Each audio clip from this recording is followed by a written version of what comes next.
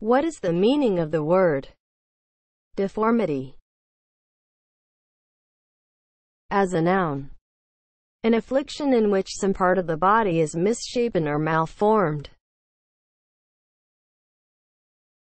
Deformity is spelled D E F O R M I T Y.